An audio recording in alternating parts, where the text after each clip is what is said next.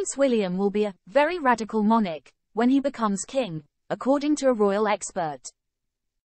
Roya Nikkhah says, the monarchy will look very different quite quickly, marking a huge difference from the days of his grandmother Queen Elizabeth II. Nikkhah is the only journalist to have interviewed Kate Middleton's husband since the Queen died, demonstrating her inside expertise. Speaking on Hello, S claimed a Right Royal podcast, Nikkhah alluded to two key things that will immediately set the tone for Will's radical rule. Firstly, William's passion to slow down man-made climate change will take a step up from even his father Charles's enthusiasm. William's Earthshot Prize encourages people to submit their innovative solutions to the greatest environmental challenges. Prince William said, The Earth is at a tipping point. We face a stark choice.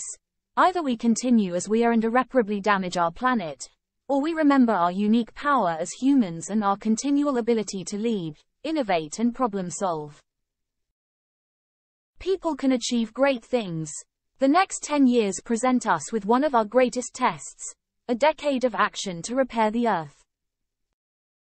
Scientists have warned of various impacts of environmental challenges, the most serious being food and water shortages leading to the starvation of billions, causing potential mass migration and subsequent wars. Flood threats to major cities will also need to be addressed. Nevertheless, Wills has been accused of eco-hypocrisy due to his charity's fossil fuel links, as well as his tendency for private jet trips. Experience the Express like never before advert-free experience without interruptions. Rocket fast speedy loading pages. Exclusive unlimited access to all our content. Start 30-day free trial Meanwhile, the second of Prince William's radical changes will be his coronation. Nikkhah said it will be very different to his father's, although further detail has not yet been released. One thing that is not going to be radicalized is William's title when he becomes king.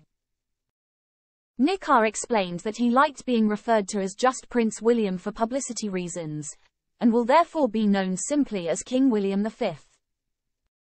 She said, when he launched Earthshot he was the Duke of Cambridge, but he called himself Prince William.